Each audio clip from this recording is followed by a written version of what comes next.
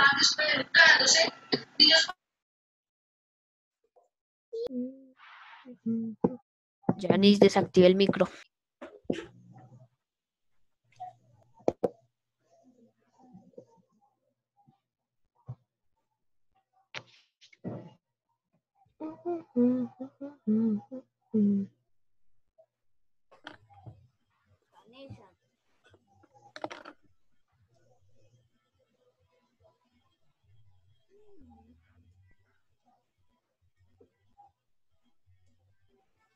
Y otros gritando y hablando al tiempo, no entiendes y demás. Otros niños necios y yo. Listo, entonces ahorita lo que vamos a hacer es que vamos a revisar el punto número 3. El punto número 3 es súper fácil, chicos. Solamente tienen que leer y deducir. Lo primero que me dice ahí es la tercera parte, o sea, la tercera parte aumentada, o sea, aún más, Un tercio más un. en la quinta parte. Entonces sería en la quinta parte. Estaba fácil. Entonces, un tercio más un quinto. Listo, vamos a hacer entonces la B, a ver cómo nos va. Dice Sería- dos tercios, que eso está muy Menos, un medio.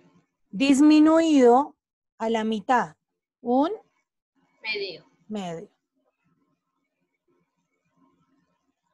Eso era más o menos lo que teníamos que hacer en el tercer punto. Teníamos que estar como pendientes de leer El cuarto así no lo casi. Sí, profe, Solo- casi no lo entendí. Tranquilos que ya vamos para allá.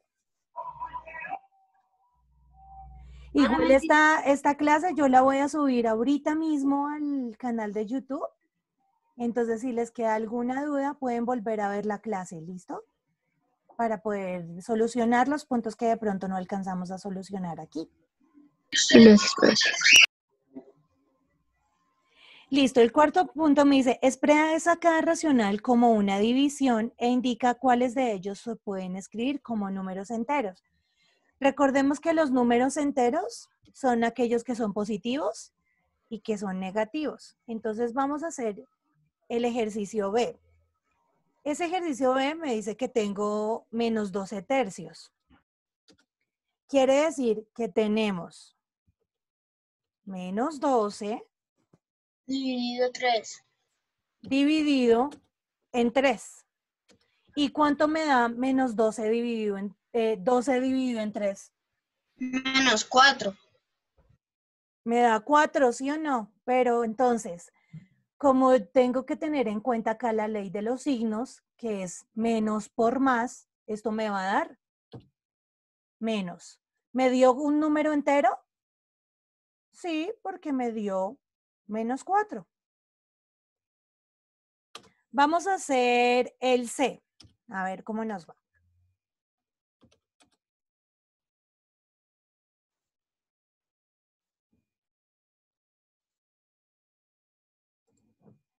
Listo. Ahí tenemos 72 menos 36. Entonces le hago igual. Menos 2.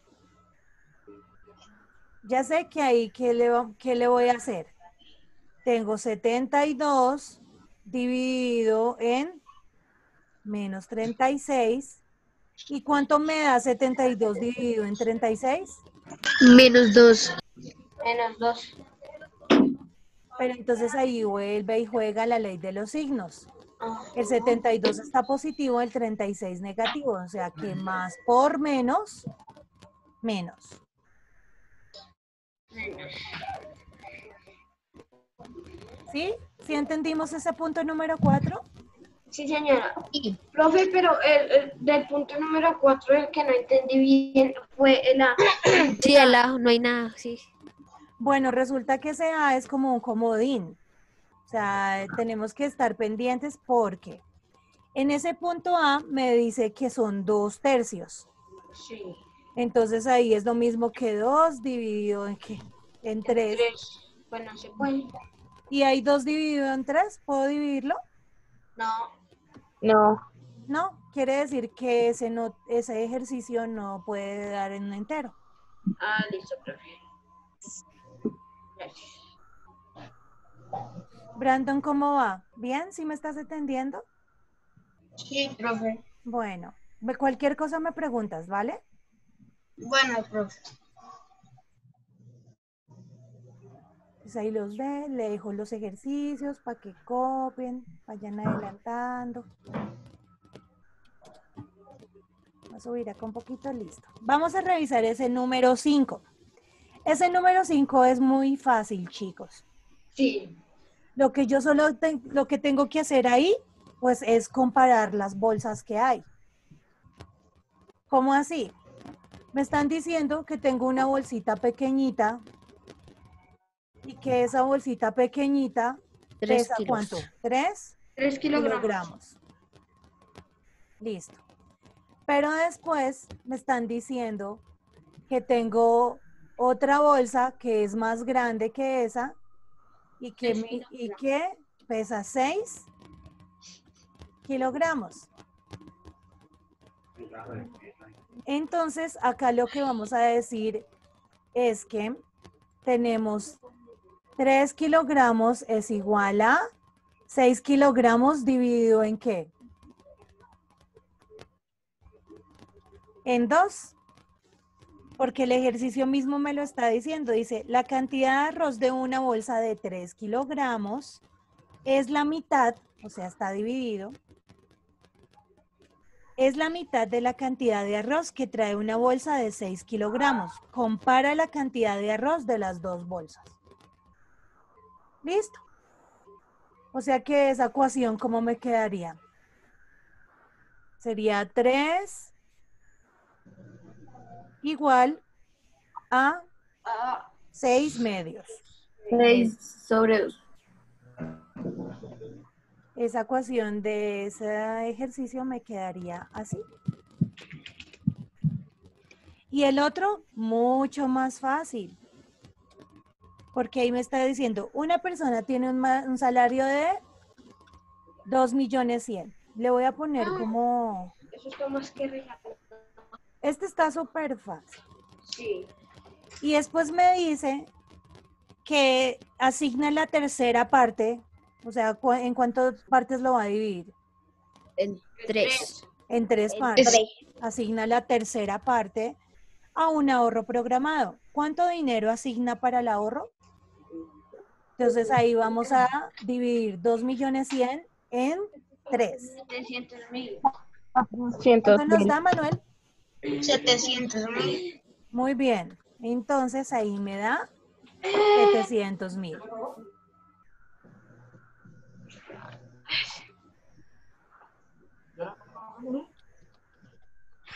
Se mete sin camisa.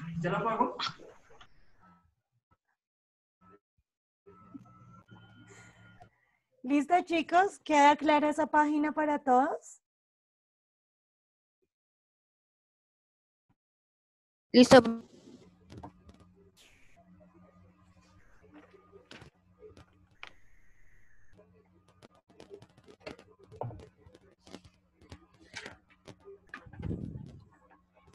Bueno, ahí ya. Dime. y mañana resolvemos la, las- Las otras, sí. Bueno, vamos a adelantar hoy lo que más podamos porque la idea es que ustedes, pues, si tenemos el tiempo de clase, pues resolvámoslo en la clase. Digamos, yo les estoy dando un ejemplo de cada uno de los puntos. La idea es que ustedes ahorita solamente, pues, completen los otros puntos que le hacen falta. Para así adelantar, porque es que sí tenemos varias, varias páginas que tenemos que revisar. Listo, ahora vamos a revisar la página número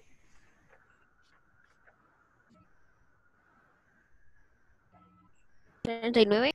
39. Pero bueno, antes de eso vamos a recordar ciertos concepto- conceptos básicos entre los números mixtos y los números decimales.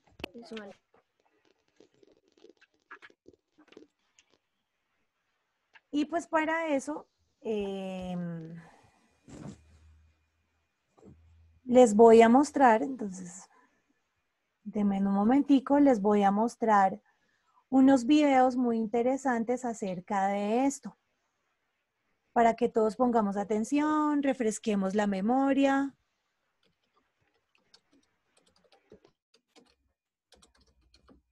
Si quieren pueden tomar, tomarse este tiempo, van mirando cuáles ejercicios tienen bien.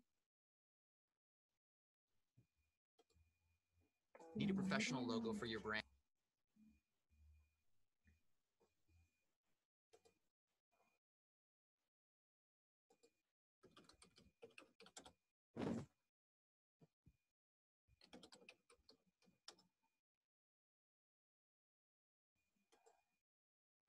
If you manage a team, you should be using Monday.com. It's a platform to manage any team and any Brands? project. I've used the new Wix logo maker to create one for my project startup. management. I'll show you how. First, go to Wix logo. To start, I'm gonna type the name of our startup. Then I'll add our tagline. Gotta make sure. En esta ocasión vamos a ver cómo se convierte una fracción impropia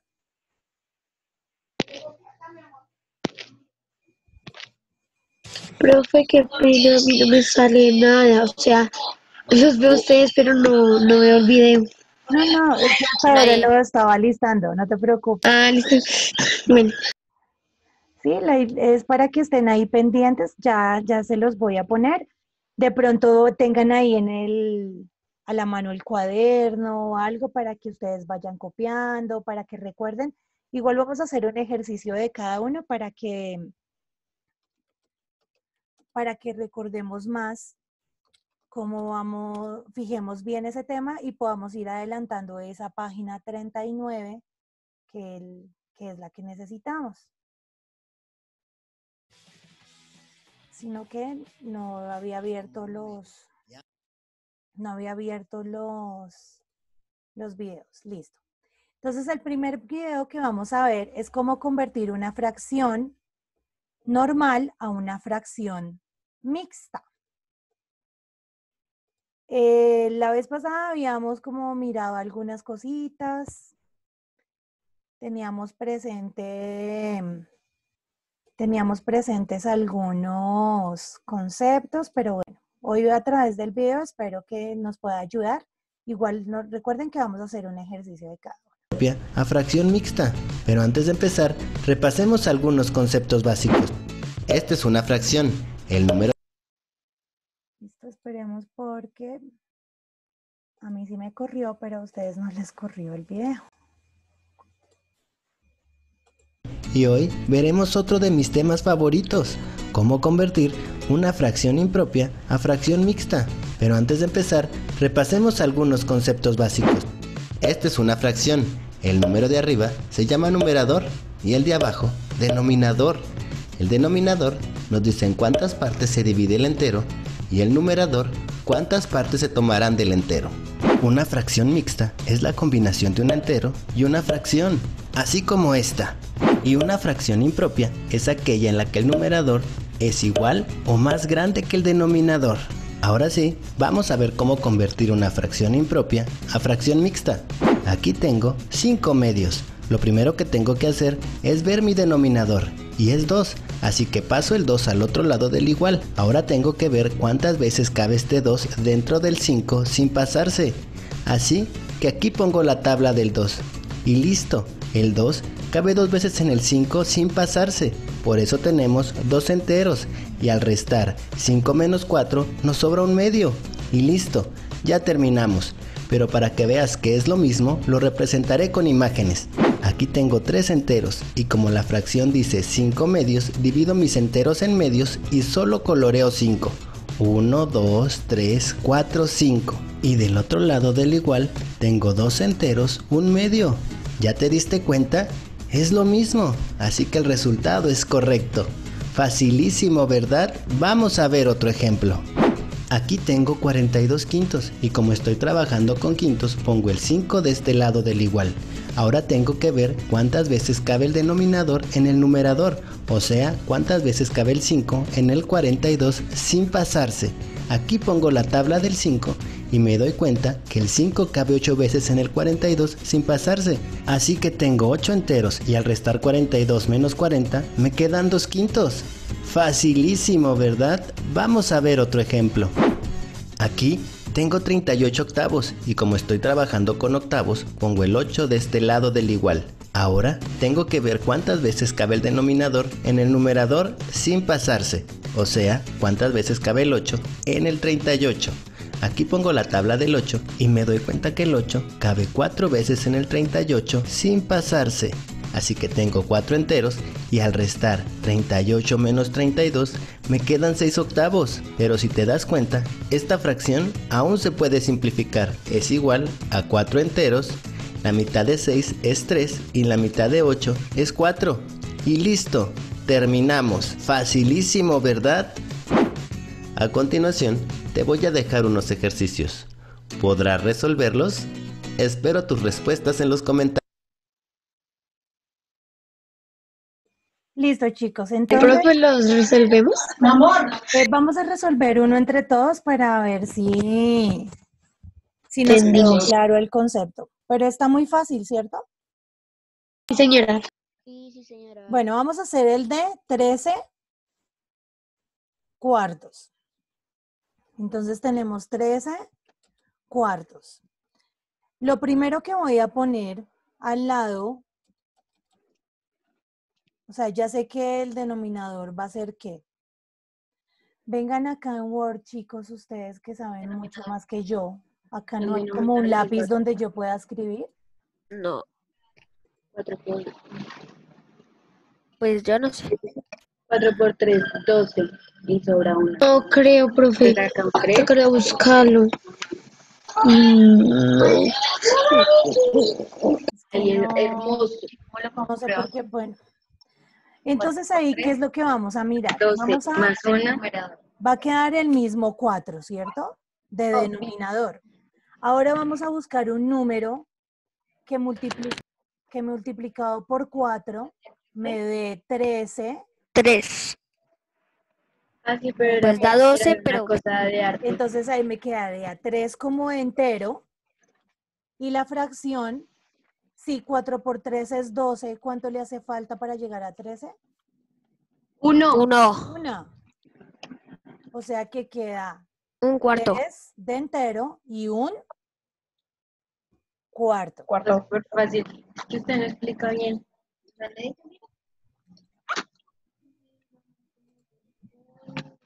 Que Listo, vamos a hacer otro. Digamos que tenemos, tenemos 25 quintos.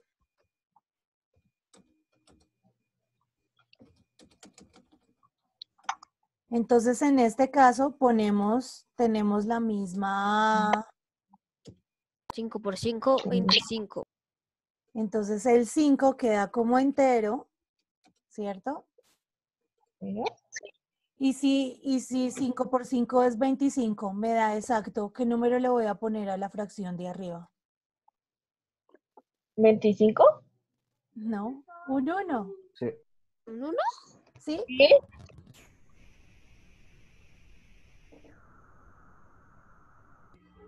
¿Pero por qué? Porque no. Porque, porque es exacta.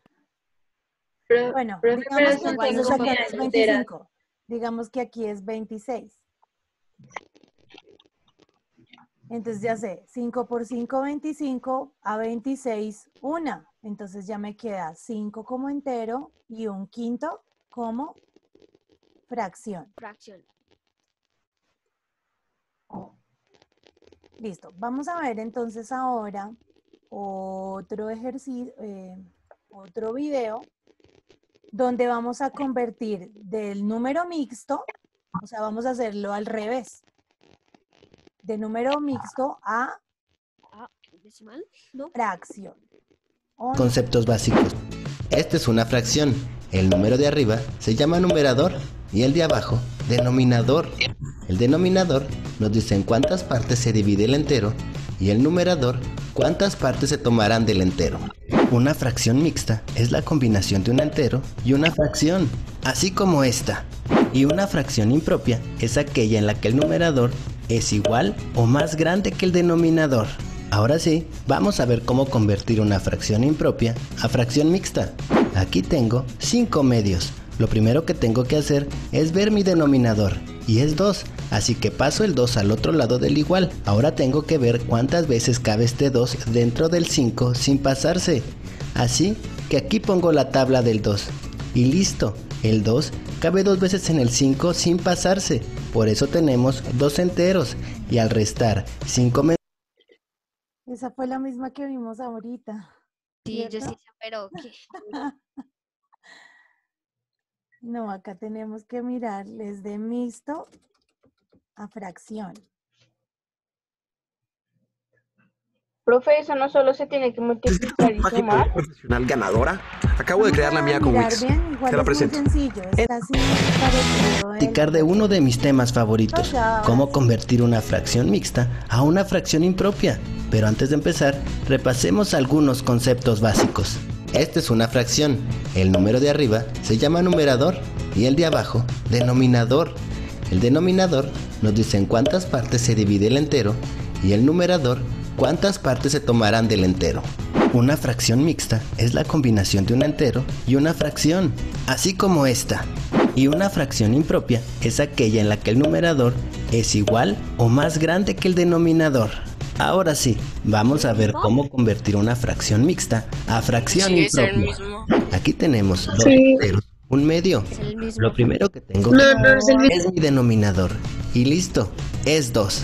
Esto quiere decir que Miren, acá vamos a pasar de una mixta a una fracción. Ah, sí, es que comen cinco. Eso es diferente. Eso es- Claro. ¿Listo? Esto quiere decir que trabajaremos con medios. Por lo tanto, pongo un 2 del otro lado del igual y el procedimiento es facilísimo. Multiplico 2 por 2 y me da 4. Le sumo 1 y da 5. Por lo tanto, mi resultado final es de 5 medios. Vamos a comprobarlo con dibujo. De este lado tengo dos enteros y un medio.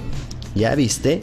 Ahora, de este otro lado, tengo tres enteros y los voy a dividir en medios. Ahora tengo que contar cinco medios.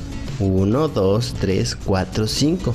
Y aquí tengo 5 medios. Y listo. Ahora te puedes dar cuenta que dos enteros, un medio, es lo mismo que 5 medios. Facilísimo, ¿verdad? Vamos a ver otro ejemplo. Aquí tengo 5 enteros, 3 quintos. Como estamos trabajando con quintos, pongo quintos del otro lado del igual. Ahora multiplico 5 por 5 me da 25, más 3 son 28. Por lo tanto, 5 enteros 3 quintos es igual a 28 quintos. Facilísimo, ¿verdad? Vamos a ver otro ejemplo. Aquí tengo 4 enteros 6 octavos. Como estamos trabajando con octavos, lo pongo del otro lado del igual. Ahora multiplico 8 por 4, 32, más 6, 38. Esto quiere decir que 4 enteros 6 octavos es igual a 38 octavos. Como te puedes dar cuenta, esta fracción aún se puede reducir. Esto quiere decir que se puede hacer más pequeña porque a ambos números se les puede sacar mitad. La mitad de 38 es 19 y la mitad de 8 es 4. Esto quiere decir que 4 enteros 6 octavos es lo mismo que 38 octavos y esto es lo mismo que 19 cuartos. Facilísimo, ¿verdad? A continuación, te voy a dejar unos ejercicios. ¿Podrás resolverlos? Listo, vamos a resolver el primero, que es, veíamos ahí que era 5 como entero y el otro lado era 5 tercios. Ya saben que quedamos con el mismo denominador, ¿cierto? Lo que vamos a hacer ahora es multiplicar. ¿Qué voy a multiplicar? El denominador y el entero, o sea, 5 por 3, 15. Y después le voy a sumar ¿qué? 5. El numerador. Entonces 5 por 3, 15, más 5, 20. 20 O sea tercios. O sea que Esas son muy fáciles. nos queda fácil, ¿cierto? Eh, señor. Listo, y ahora vamos a ver nuestro último video, que quiero que le pongamos mucha atención, que es acerca de los decimales. cómo vamos a pasar números decimales, convertir fracciones a decimales. Entonces, eh, vamos a encontrar que él explica de una manera eh, las divisiones como al revés, pero ahorita vamos a hacer un ejercicio para poder entenderlo, ¿listo? fracción a decimal. Así que pon mucha atención. Aquí tengo esta fracción que se lee como un medio y ahora la voy a convertir a decimal. Para hacerlo tenemos que hacer una división. Recuerda que para hacer una división tienes que saber multiplicar y restar. La división quedaría así, como 1 entre 2. Y tengo que ver cuántas veces cabe el número 2 en el 1. Como no cabe ninguna vez, ponemos un 0 aquí arriba. Agregamos enseguida un punto decimal y le agregamos un 0 al número. Ahora tengo que saber cuántas veces cabe el número 2 en el 10 sin pasarse. Y para eso repaso la tabla del 2. 2 por 1 2, 2 por 2 4, 2 por 3 6, 2 por 4 8 y 2 por 5 10. Como ves, el 2 cabe 5 veces en el número 10, por lo tanto, pongo el número 5 aquí arriba y multiplico 2 por 5 y me da como resultado 10. Ahora hago una resta y 10 menos 10 es igual a 0. Como mi residuo final es 0, esto quiere decir que ya terminé. Por lo tanto, un medio en decimal es igual a 0.5. Facilísimo, ¿verdad? Vamos a ver otro ejemplo. Aquí tengo mi fracción, que es 2 quintos. Ahora voy a proceder a hacer mi división convencional. Pongo el 2 adentro de la casita y el 5 afuera. Tengo que saber cuántas veces cabe el 5 en el número 2. Como no cabe ninguna vez, pongo un 0 aquí, enseguida ponemos un punto decimal y le agrego un 0 al número. Ahora, tengo que saber cuántas veces cabe el 5 en el número 20 sin pasarse. Repasemos la tabla del 5. 5 por 1 5, 5 por 2 10, 5 por 3 15 y 5 por 4 20. Como te puedes dar cuenta, el 5 cabe 4 veces en el 20, así que pongo el 4 aquí arriba y después multiplico. 5 por 4 es igual a 20. Ahora realizo una resta. 20 menos 20 es igual a 0. Como nuestro residuo es 0, quiere decir que ya terminé. Ahora me puedo dar cuenta que la fracción que se lee 2 quintos es igual a 0.4 en decimal. Regalado, ¿verdad? Vamos a ver otro ejemplo. Ahora tengo 3 cuartos y quiero saber cuánto es eso en decimal. Pongo el 3 aquí adentro de la casita y el 4 afuera. Ahora tengo que saber cuántas veces cabe el 4 en el número 3. Como no cabe ninguna vez, pongo un 0 aquí, enseguida le pongo un punto decimal y le agrego un 0 al número. Ahora tengo que saber cuántas veces cabe el 4 en el número 30 pero sin pasarse. Repasemos la tabla del 4. 4 por 5 20, 4 por 6 24, 4 por 7 28 y 4 por 8 32. Cuando multiplico 4 por 8 se pasa, entonces elijo la de 4 por 7. Pongo el 7 aquí arriba y multiplico 4 por 7 y me da 28. Hago la resta y 30 menos 28 me da 2. Ahora agrego otro 0. Ahora tengo que saber cuántas veces cabe el 4 en el número 20 sin pasarse. Y aquí lo tengo. 4 por 5 es igual a 20. Esto quiere decir que cabe 5 veces. Y pongo el 5 aquí arriba. Y ahora multiplico. 4 por 5 es igual a 20. Y 20 menos 20 es igual a 0. Como nuestro residuo da 0, quiere decir que ya terminamos. Y 3 cuartos en decimal es lo mismo que 0.75. Regalado, ¿verdad? Va- Listo. ¿Cómo vamos hasta ahí? ¿Sí entendimos? Más o menos, profe, más o menos. Bueno, la idea es que, como yo les decía ahorita. Un poquito más difícil. Sí, lo que yo les decía ahorita, chicos, una fracción es como una división. Entonces, si ahí me dicen cuánto es un medio, ahí lo que tengo que hacer es dividir uno dividido en qué. ¿Y eso cuánto me va a dar? Uno dividido en dos me da 0. 0.5. 5. Ahí ya pasé de fracción a decimal. Lo que ustedes vieron es una división. ¿Sí? Pero pues también lo podemos hacer en la calculadora. Debemos entender que la operación de fracción a entero siempre va a ser una división. Eso es lo que lo vamos a tener más claro. Pero igual no se preocupen, mañana vamos a seguir mirando este tema. Lo que quiero que No entendí muy bien, pero bueno. lo que quiero que tengan presente es para la página 39 eh, algunos conceptos que salen ahí descritos. Uno de los primeros conceptos es que ellos me están hablando de decimales periódicos. Entonces, un decimal periódico es un número, ¿sí? digamos eh, 0.89. Pero cuando me da ese número, a veces en la calculadora sale 89, 89, 89, 89. ¿Sí han visto esos números así? Señora. Sí. O sea, que a lo que yo llamo periódico es a ese número que se repite muchas veces. Como se repite muchas veces, lo van a encontrar con una rayita ahí arriba, que acá no tengo cómo hacerla. Pero ya saben que es este 89 el que se repite muchas veces. A esto yo le llamo un decimal periódico puro. ¿Por qué puro? Porque después del punto empieza el número periódico. O sea, el que se repite. Y tenemos otro decimal periódico que es el mixto. ¿Cómo así el decimal mixto? Ese decimal mixto es cuando tenemos 0. punto, digamos, 7 y ahí sí, 89, 89, 89, 89, 89, 89. ¿Qué es lo que pasa ahí? Antes de que empiece mi número periódico, que es el 89, hay un número antes, ¿cierto? Que es el número 7. Por eso, en ese caso, eh, se va a quedar llamado como un número decimal mixto.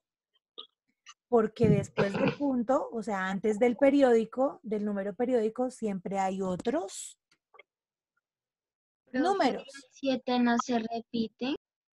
No, el que se repite es el 89. O sea que, ¿cuál sería el número periódico ahí? El 89. El 89, ¿cierto? La diferencia en el, te- el que está arriba, el que está abajo, es que el que está arriba, el 89 va justo después de qué? Del punto. Y el que está abajo, el 89 va después de un número. Por eso se llama mixto. Entonces quiero que veamos rápido la página 39 en estos seis minutos que nos quedan. Profe, una pregunta. Dime. Eh, ¿Por qué números son los que se simplifican? Son los divisores. ¿Qué números divididos te dan ese número de, de ahí? No, eh, o sea, en la simplificación, ¿por cuál número exacto eh, se, se empieza a simplificar? Pues eso depende, porque si tú tienes acá, digamos, recordemos la tabla del 3, si tú tienes 9, 9 doceavos, ahí tú no le puedes sacar mitad, ¿cierto? Porque 9 es un número impar. Pero no le puedes sacar mitad, pero sí le puedes dividir por qué número. Por 3. Por 3 arriba y abajo. O sea que 3 por 3 te va a dar 9. O sea que ahí vamos a simplificar 3. ¿Y qué número multiplicado por 3 me da 12? 4. 4. Listo. Ahí ya simplifiqué mi fracción de 9 doceavos a 3 cuartos. ¿Y para simplificar es lo mismo? Para simplificar, si yo quiero volver a agrandar este 3 cuartos, ¿qué es lo que tengo que hacer? Multiplicar esos dos números por 3 para que me quede nuevamente 9 doceavos. Ah, ok, profe, pero es que yo tenía entendido que se, si- que se simplificaba por números primos. Bueno, lo que tú tienes que tener en cuenta ahí son los criterios de divisibilidad. que si termina el número en 0 o en 5, entonces es múltiplo de 10 o es múltiplo de 5. Si es un número que termina en, en par, pues entonces lo puedo dividir en 2. Si ese número, la suma de sus dígitos eh, da un múltiplo de 3, o sea que es divisible por 3. Entonces debe ten- debes tener ese en cuenta los criterios de visibilidad para que puedas eh, realizar la simplificación o la complificación. Ok, gracias, profe. Listo, entonces vamos a mirar rápidamente ahí en la página, en estos cuatro minuticos que nos quedan en la página 39, ese primer ejercicio. ¿Qué fracción representa ese dibujo que está ahí? Si Cinco cada, medios. Si cada bolita está dividida en dos, entonces tenemos que Tres 5 medios. la fracción. ¿Qué número mixto? Tenemos dos círculos completos, que sería el entero, y tenemos un círculo que está una parte pintadita nomás, o sea, sería Un medio. un medio. Decimales sí, casi no lo entendí. Y en decimal, el decimal es muy fácil. ¿Cuánto me da 5 dividido en 2? 2,5. Listo, ese es el decimal. ¿Ya entendimos el decimal? Más o menos. Ahí solamente dividimos 5 dividido en 2 y ahí ya nos dio 2.5. 5. En el punto 2 dice, en cada caso determina si la forma decimal de cada fracción es exacta, periódica o pura. Ahí, ¿qué es lo que tienen que hacer? Pasar esas fracciones a ¿Decimales? a decimales. Muy bien. ¿Y cómo las vamos a pasar? Dividiendo un número entre el otro.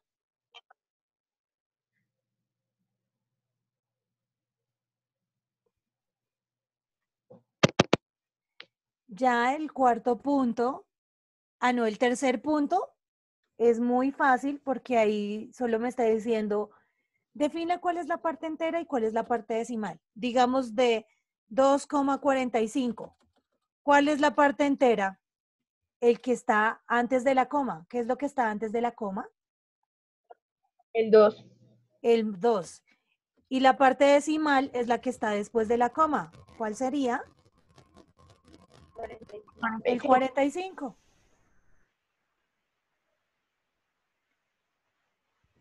¿Listo? El cuarto punto solamente es que lo lean y contesten si es verdadero o falso. Y en el quinto punto tenemos unos problemas. Pero esos problemas son muy fáciles, chicos. Ya recuerden que es como solucionamos la del de las bolsitas o que es como el que solucionamos del señor que tenía, ganaba dos millones, eh, cien mil y repartió eso en tres pedazos. Más o menos de eso se tratan los problemas. Solamente tienen que leer, escribir de qué trata el ejercicio y resolverlo. Y entonces por hoy vamos a terminar así, chicos. Nos vemos el día de mañana. Así que les recomiendo que vayamos trabajando el día de hoy hasta la página 39. Todo lo que podamos hasta la página 39. Y de esta manera, pues nos va a quedar mucho más fácil eh, ir resolviendo mañana. Ya les voy a hablar. Señora. Entonces nos vemos juiciosos, los quiero mucho. Mañana a primera hora, ¿cierto? Ah, no, mañana no. Mañana Después de- tenemos a la tercera hora. Desde el descanso. Antes del descanso, ¿listo? Entonces nos vemos, juiciosos. Chao, chicos. profe. Que les vaya bien. Si tienen preguntas, me dicen mañana.